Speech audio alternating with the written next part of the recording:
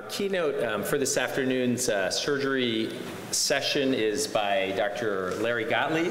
Uh, Dr. Gottlieb is an internationally known plastic surgeon and professor of surgery at the University of Chicago. His clinical and research interests are in reconstructive microsurgery, the care of patients with burn injuries, difficult wounds. Uh, Dr. Gottlieb obtained his surgery training at Yale, went on to plastic and reconstructive surgery residency at the University of Southern California. Uh, and Dr. Gottlieb has been here for many years and uh, is the most innovative surgeon that I know, uh, and is also uh, faculty of the MacLean Center and graduate of the MacLean Fellowship. Um, now, as a small disclaimer, for those of you who may have weak stomachs, you may want to avert your eyes at certain points during this uh, presentation. Dr. Gottlieb. Thank you, Peter. Yeah, they specifically put me after lunch, I think. um, Peter's talk on innovation is really important. Uh, I rarely do the same thing twice. Uh, Gretchen's talk was just great. I really loved it. Um, and I think those are, both will intertwine somewhat in this, in this talk. And I didn't know exactly where to start uh, and what the baseline of the uh, balance of the audience would be. So I have some basic stuff and then some more thoughtful stuff. I have no financial conflicts of interest. I have nothing to disclose except most of you that know me know that I'm the ultimate optimist and frequently accused of wearing rose-colored glasses.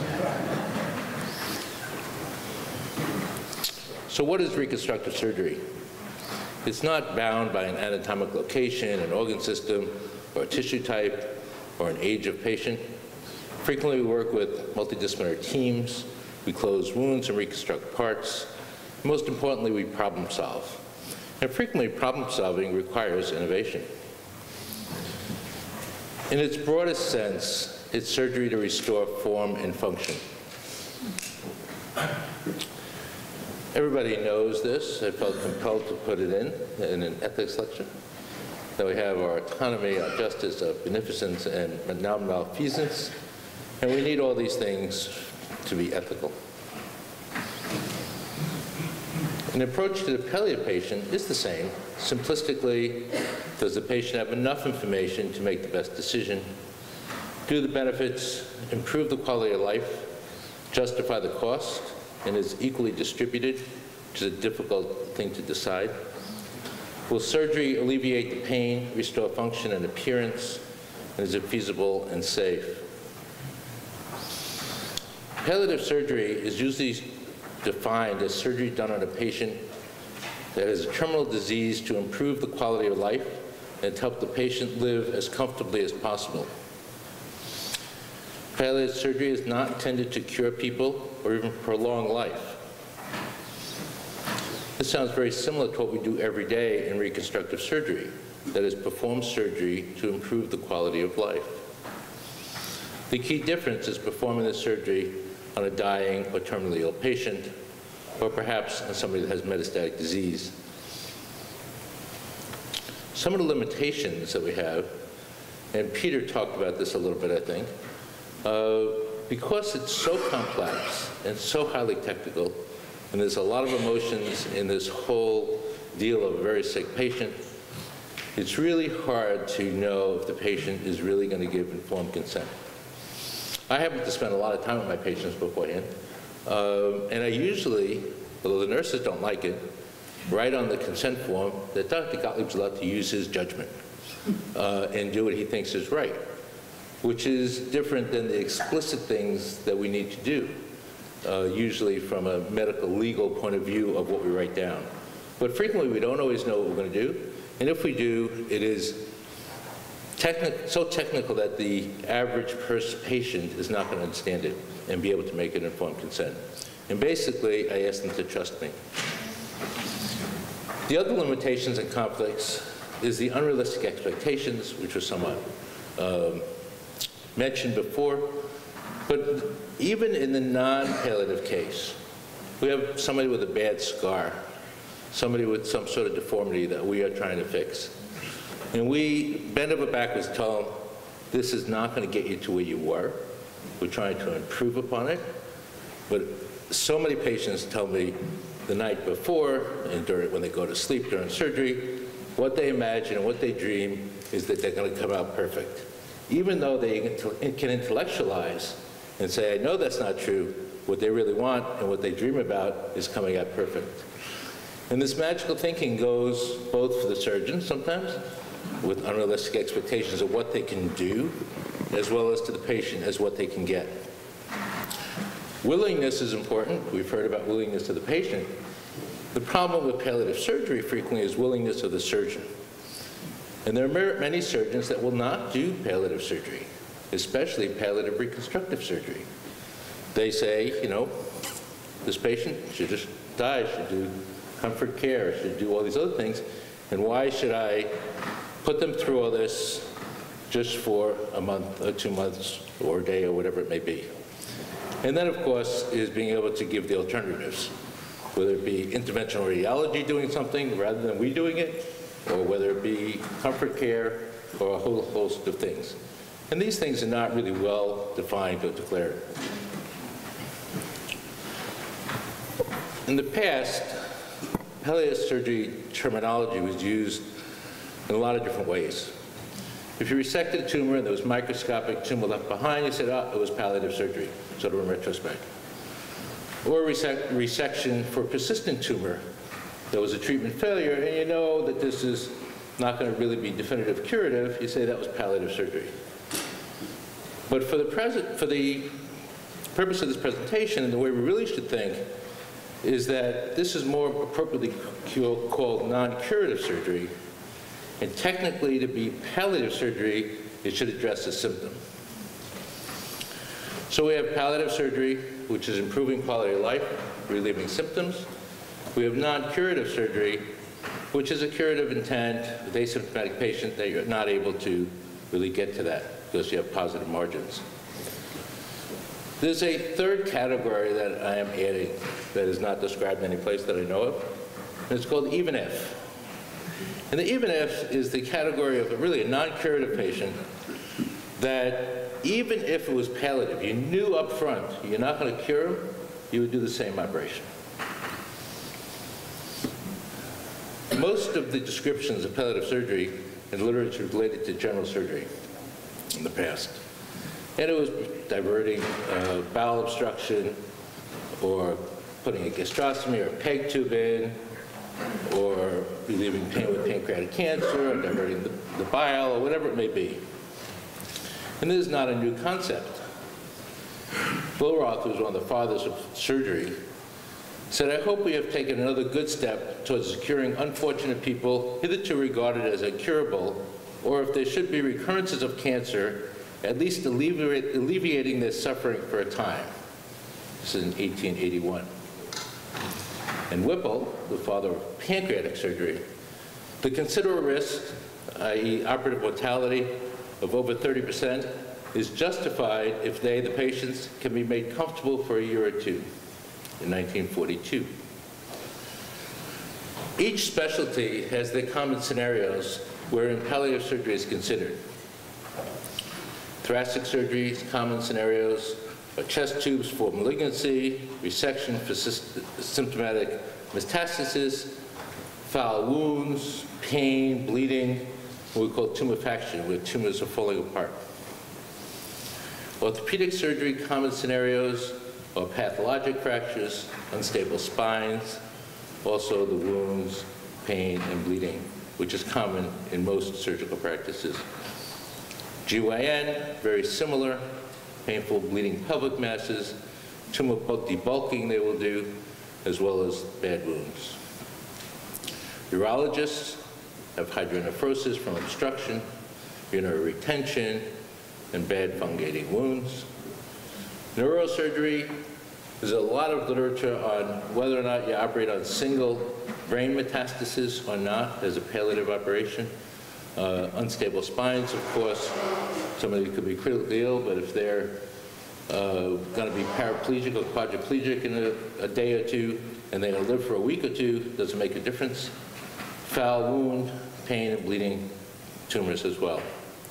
ENT and head and neck surgeons. Alex, a little bit, I don't know if he's going to be specifically talking about ENT, has problems of mechanical airway obstruction, carotid rupture, bad wounds, and again, if the tumors go into the spine, possible quadriplegia. John Gaisford, Jack Gaisford, who's a plastic surgeon who does head and neck surgery, says palliative surgery procedures can be of greater magnitude uh, than curative operations. So that to have to do more than you would do if you were just doing a standard operation to take out a thyroid. The head and neck cancer surgeon must be ready, willing, and able, but mostly willing. And that has been our biggest issue, I think, in many, many cases of having somebody that's willing. There is, in the last analysis, no absolute rule. The surgeon who accepts patients with cancer for their initial care is obligated to care for them throughout the course of their disease. The complication rate for palliative surgery intervention is high and not limited to major procedures. There's not a lot of literature about this, but at one major uh, cancer center, 36% of the total annual 30-day operative mortality was from postoperative complications. And if you had one complication, you reduced the possibility, the probability of symptom resolution to 17%, which is very, very scary. And the complications occurred with comparable frequency regardless of the surgical specialty in this survey. There is currently no validated instrument of measuring quality of out outcome uh, for palliative surgical procedures. There's almost nothing in the literature that discusses palliative reconstructive surgery or palliative reconstructive microsurgery. We, SE Kabrua, just so walked in the room a little while ago, did a research project that's still in the works, uh, who looked at a year of Alex and mine microsurgery for head and neck cancer. We had a very limited number of patients, but actually our morbidity was not greater. We had a hard time finding out what their quality of life was and whether or not we really will ever have a good sense of that without a multidisciplinary or multi-institutional prospective study. It's hard to tell. Frequently, as reconstructive surgeons and reconstructive microsurgeons, we're called to close a wound or reconstruct part after an extirpative surgeon, surgical colleague performed a palliative surgery to control pain, infection, or impending carotid rupture or asphyxia, and we're called right on the spot to try to fix it. Ideally, we'd work as part of a multidisciplinary team to have input prior to this, so you can have this discussion of, of the surgery preoperatively. And the multidisciplinary teams ideally has the ablative surgeon, which sometimes is the plastic reconstructive surgeon, and then the reconstructive person, who sometimes is the ablative surgeon, the medical oncologist, radiation oncologist, pain management teams, palliative care teams, and social work. How do we decide who should be operated on? That's a little typo, and who we should not operate on. Use the four-box method as described by Dr. Siegler, and everybody in this room should know about, although in his description of the medical ethics is above the line. In palliative care, of course, it's angled where we have shared deci decision-making, where the most important thing is quality of life, safety, and patient preference. There are three main determinants for deciding if an, if an operative candidate is good for a procedure or not. The patient's symptoms and personal goals, the expected impact of the procedure on the quality of life, the function and or prognosis, the prognosis of the underlying disease or the tumor biology, which we frequently may or may not have a handle on at that time. There are four general patient groups that we see. There's elective immediate reconstruction after extirpation. There's elective delayed reconstruction. There's emergent immediate reconstruction, like a carotid blowout. There's surgery for disease or injury which is independent from their cancer. So some other thing came on, but they have this ongoing uh, metastatic disease, perhaps. I'll give some examples. 56-year-old lady with metastatic laryngeal cancer had a pharyngocutaneous uh, fistula, fistula in the neck, in a scarred radiated field. Patient wants to be able to swallow before she dies. She's planning on hospice care. Referred by the ENT surgeon, who said, if you can or will rebuild her pharyngoesophagus, I'll excise it. Excise the fistula. The question is, what do we do? So we ask, what are her symptoms and personal goals? Not able to swallow, and a goal is to swallow, very simple. What's the impact? Ability to swallow. One of the risks? is pretty major surgery with somewhat of a moderate risk if we can do it without uh, too much hassle. And what is the prognosis for the underlying disease? And it's poor. The time for functional decline is months. But that doesn't make a difference. She just wants to be able to swallow before she dies. So what do we do? We took her to the OR. We used some local flaps to get some lining, and we used a little flap from a chest, pedicle, called an internal mammary artery perforator flap, to close the skin on the outside. It all healed and sealed. Here she is 10 days post-op. She was hospitalized for three days. She was drinking water at one week. She was happy as can be. And she was getting nutritional supplements still by tube feed. She wasn't eating Big Macs. But she was able to have the emotional benefits of having something by mouth. Her metastatic disease progressed, and she went to hospice one month uh, post-op, very happy. Then we have the elective immediate reconstruction after extirpation. Is an old, cachectic male with a painful draining chest wall metastasis. He was unable to get adequate pain control despite our best pain doctors. He was about to enter hospice as well. He was referred by the thoracic surgeon. He said, if you can or will close it, I'll excise it. Again, asking the same questions. Goal is to relieve pain. Well, the improvements of quality of life is to decrease the pain and the odor and have under reasonable risks. Prognosis is poor, and the time to functional decline, we really don't know. What do we do? Similar operation. They cut it out, left tumor behind. We closed it. Pain was actually totally relieved. It was amazing. I really didn't think it was going to happen, but it did. And he had an uncomplicated uh, post-op course and went on. This is a 65-year-old with metastatic thyroid cancer. Tumor extended to the margins, ablating the pleura and the lungs. The wound is tender, but not painful. What do you do? Well, he doesn't have any pain. All he wants to do is close the wound, and perhaps a psychological benefit. The advantage of closing the wound is avoiding dressing changes, and nothing else would change. It is major surgery at very high risk that may not even be able to be accomplished safely. And the prognosis uh, is really, don't know. I did a wound biopsy for path and for culture, confirmed the diagnosis, and made sure we had no uh, bacteria. I told him and his family that the only reason to operate was to avoid dressing changes. And considering that the risk was too big to undergo surgery for no symptoms, and I recommend that he continue to do uh, dressing changes and refuse to do surgery on him. Then we have the relatively young woman who had a mastectomy, develops metastatic disease. She's about to enter hospice. She says, doctor, I don't want to die without a breast. What do you do? She wants psychological benefits of a breast.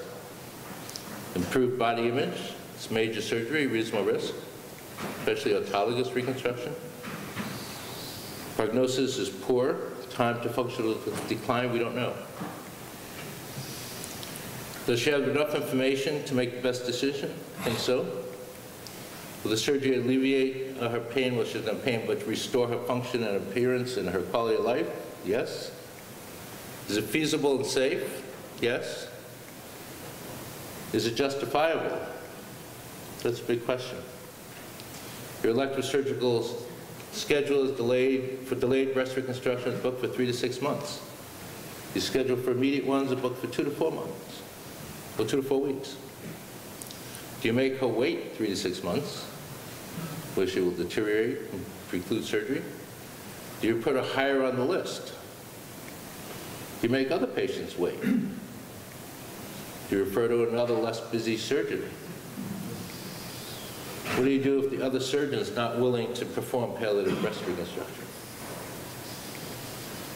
To make a long story short, she ultimately underwent delayed autologous breast reconstruction. Then she said, Doc, I don't want to die without a nipple.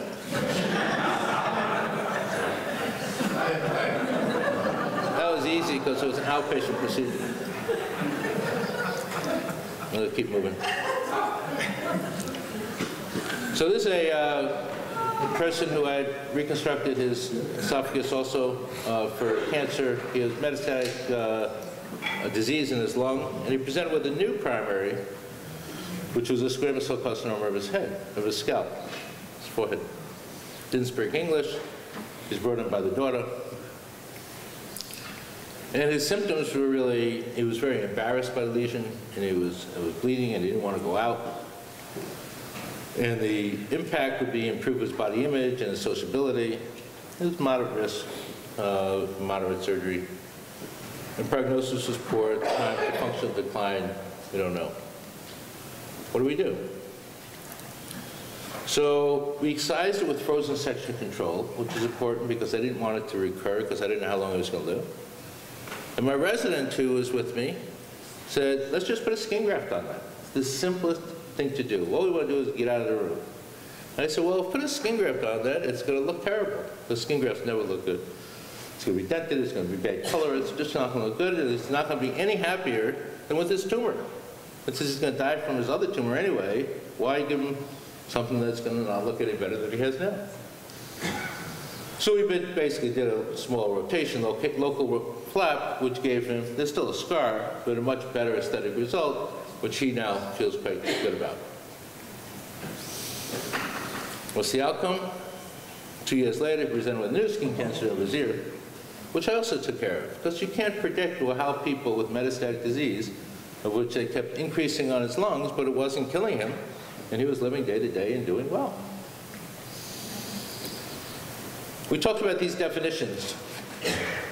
And there's this last definition, which I think is, uh, again, something that's really important, this even if. And its operations, uh, which you would hope is curative in, in the symptomatic patient, but even if it was palliative, and you knew that up front, you would do the same operation.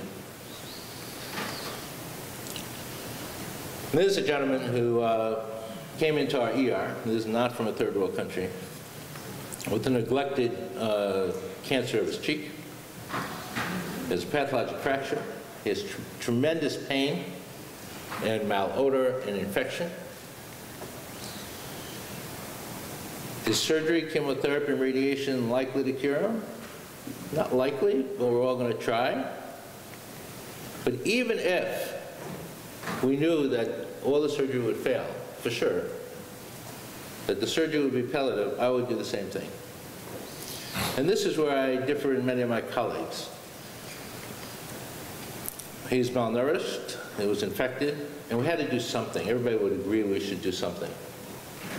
And you can cut it out and just slap on a piece of meat or take a piece of tissue from someplace else and get it closed, and it would look terrible, even for the period of time that he's going to live. Or you can try to give him a semblance of a face.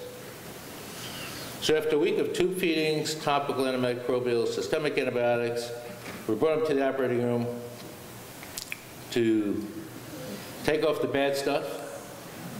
And what was our goals? Safe, reliable wound closure, so indeed he can get chemo and radiation two weeks later, but also to give him a semblance of a face. So he can interact with his family, he can interact with the nursing care, and what I have found is that patients that are severely mal uh, deformed from things like this and big tumors, nurses don't really interact very well. And the hospital personnel don't interact very well. And if somebody looks more human and less deformed, they will. So after a very long, complex operation with bone and soft tissue, we were able to give him this. We had reconstructed part of his mandible and his soft tissue. And so we went from there to there, and here he is at 10 days. Despite post-op chemotherapy and radiation, the tumor progressed, and two months later, he went on to hospice. But even if I knew that before, I would have done the same operation. What did surgery accomplish? We closed the wound, controlled the pain, made him look human, which facilitated interactions and care by the family, by the nurses, and the healthcare personnel. The American College of Surgeons talks about the tradition of heritage of surgery, emphasizing the control of suffering is equal importance to the cure of disease. I'm almost out of time, so I'm going to skip these two. And they have 10 statements of principles of palliative care, most important being honor the right of the competent patient or surrogate to choose among treatments, including those that may or may not prolong life. Identify the primary goals of care from the patient's perspective and address how the surgeon's care can achieve the patient's objectives. And strive to alleviate pain and other burdensome physical and non-physical symptoms. Palliation is not the opposite of cure. It has its own distinct indications and goals and should be evaluated independently. Asymptomatic patients cannot be palliated. Patient or surrogate must acknowledge the personal relevance of the symptom to be treated.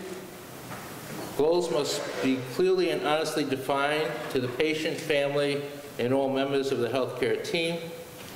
You must respect the patient's right to refuse treatment and recognize the physician's responsibility to forego treatments that are futile.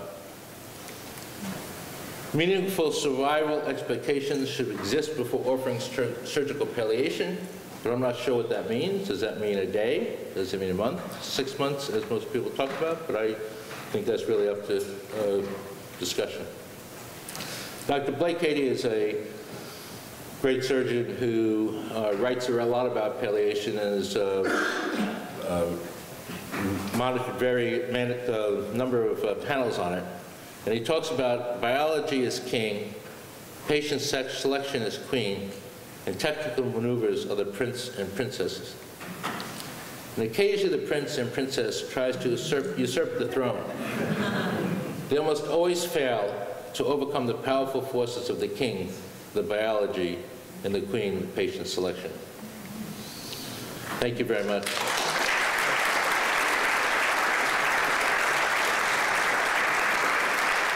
I need to acknowledge, uh, of course, Tom Krizek, a great mentor and friend, and also I honor this lecturer in his name, as he passed away this year, and all the residents at the University of Chicago, who I can't do anything without. Thank you.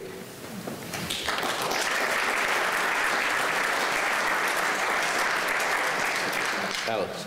Yeah, Larry, great talk. Um, so I, the, the patient with the breast reconstruction, I think you did a tremendous kindness for her. Uh, I'm surprised insurance paid for that procedure, and it made me wonder, have you encountered that issue at all in these procedures regarding insurance willingness to pay for any kind of procedure on a patient who is uh, terminally ill? You know, I uh, agree totally with uh, full disclosure and discussion with the patients that Gretchen was talking about. Uh, I don't necessarily believe that with insurance companies.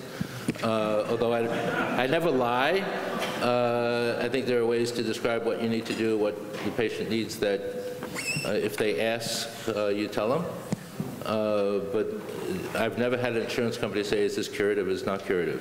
I mean, it, you have a diagnosis of breast cancer or a previous mastectomy, insurance companies will pay for reconstruction. If they ask me the question, I would tell them it in a truthful but somewhat uh, different way that would tell the patient. yes, Mary.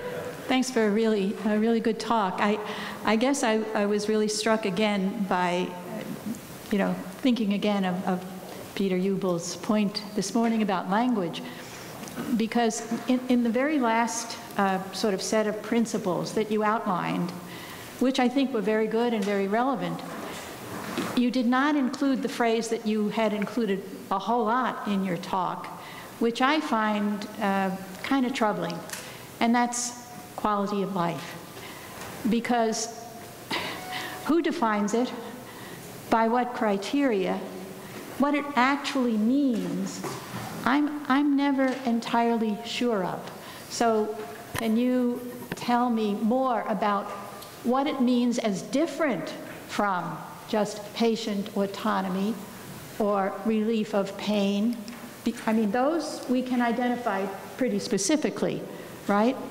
Um, What, or, or, you know, promoting a, a better appearance, Well, as in uh, some of your cases. What, what, to me, that's a, a kind of a nebulous term.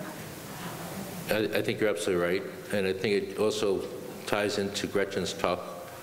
Um, The, when patients can or cannot do what they want to do, basically in life. My parents, they got at 93 years old and healthy still. But they told me many, many times, if they cannot have the quality of life they have now, they don't want to keep going. And the question is having that discussion and spending the time with the family, with the patient, to say, and be realistic about what you're going to have at the end. I think it's the real thing, and I, you're absolutely right. I mean, it's really hard to talk to For but you're, example, the quality of life is what they are going to define. They're defining it, absolutely. The word itself doesn't say that. But sometimes you have patients for whom you don't have any input like that. And then you're defining. Then we have to, exactly, Uh, and I think we do that all the time. And I think if we don't have a patient, is, a patient is intubated or is not able to be able to talk to us about, uh, or confused, then we have, and there's no surrogate, and we have to make that decision, that's absolutely right. But if not, we all, I think, try to figure out what the patient really wants, not just in a procedure, but in the quality. Thanks. Thanks.